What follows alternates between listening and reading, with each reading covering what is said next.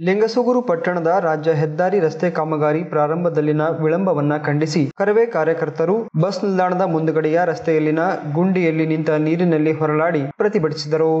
ಲಿಂಗಸುಗೂರು ಪಟ್ಟಣದ ಲಕ್ಷ್ಮೀ ಗುಡಿಯಿಂದ ಅಂಚೆ ಕಚೇರಿವರೆಗಿನ ರಾಜ್ಯ ಹೆದ್ದಾರಿ ರಸ್ತೆಯನ್ನ ನಲವತ್ತು ಅಡಿಗಳವರೆಗೆ ವಿಸ್ತರಿಸಬೇಕೆಂಬ ಸರ್ಕಾರದ ಆದೇಶವಿದ್ದರೂ ಮತ್ತು ರಸ್ತೆ ಅಗಲೀಕರಣ ಕಾಮಗಾರಿಗೆ ಈಗಾಗಲೇ ಪುರಸಭೆಯಿಂದ ಅನುಮೋದನೆ ಸಿಕ್ಕರೂ ಕೂಡ ರಸ್ತೆಯಲ್ಲಿನ ಬಹುಮಹಡಿ ಕಟ್ಟಡಗಳನ್ನ ಡೆಮಾಲಿಷನ್ ಮಾಡಿ ನಲವತ್ತು ಅಡಿ ವಿಸ್ತರಿಸಿ ರಸ್ತೆ ಕಾಮಗಾರಿಗಳನ್ನ ಪ್ರಾರಂಭ ಮಾಡದೇ ಇರುವುದು ಹಲವಾರು ಅನುಮಾನಗಳಿಗೆ ಕಾರಣವಾಗಿದೆ.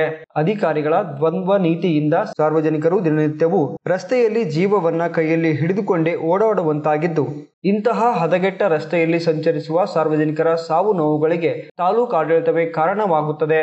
ಕಾಮಗಾರಿಯ ವಿಳಂಬದ ಕುರಿತು ಹತ್ತು ಹಲವು ಬಾರಿ ಹೋರಾಟಗಾರರಿಂದ ಮನವಿ ಮಾಡಲಾಗಿದ್ದರೂ ಕೂಡ ತಾಲೂಕಾಡಳಿತ ಮೇಲಿಂದ ಮೇಲೆ ಕಾಮಗಾರಿಯ ಬಗ್ಗೆ ಅಲಕ್ಷ್ಯತನ ತೋರಿಸುತ್ತಿರುವ ಮೂಲಕ ಪಟ್ಟಣದ ಅಭಿವೃದ್ಧಿಯ ಕುಂಠಿತಕ್ಕೆ ಕಾರಣವಾಗಿದೆ.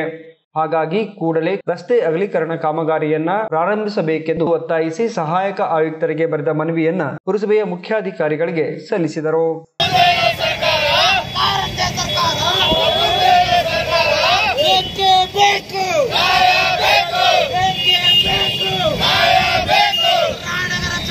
ವೇದಿಕೆಗೆ. ಕರ್ನಾಟಕ ರಕ್ಷಣಾ ವೇದಿಕೆಗೆ.